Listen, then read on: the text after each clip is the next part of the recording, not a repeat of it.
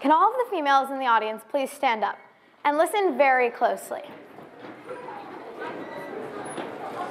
I know that at least one of you each day is told I know that at least one of you each day is told by someone that you can't do something simply because you're a girl. Don't listen to those people. For such a long time in America, women's rights have been a struggle, and they've improved, but definitely have not been fixed. Does anyone still standing know what the date August 1920 has to do with women's rights? You can all sit down and let me explain. Sometimes when I look at the changes our government is making, I get angry and I wish I had a say in things. But I know that when I turn 18, I will.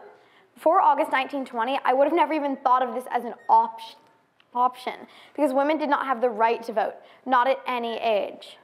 But after almost 100 years of protest from women such as Susan B. Anthony and Elizabeth Cady Stanton, the law was finally passed that granted women the ability to vote. But why do I care? Why does this matter to me so much? Voting means that you have a say in the way your country is run. Did you know that only 60% of eligible voters in the US choose to vote?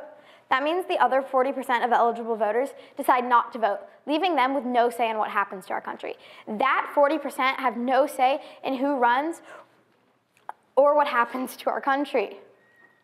Parents, teachers, all adults in the audience, I want you to listen this time and hear me out.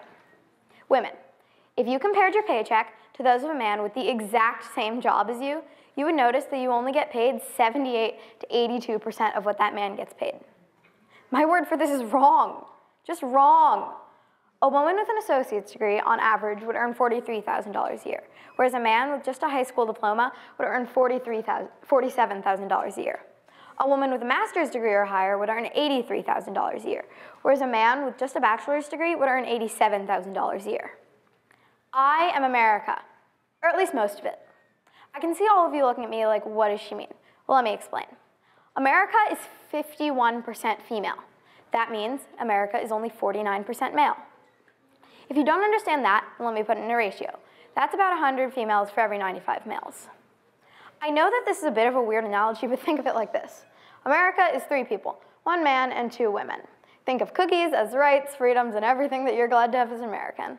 What if the government gave all those cookies to that man, leaving the ma majority of the population, women in this case, without any freedoms or rights? Sometimes when I try to do something that involves math or science, the boys come over and try to do it for me as if I don't know how. Whenever I tell them that I want to be a bionic limb developer when I grow up, they roll their eyes and they huff. You know what I tell those boys?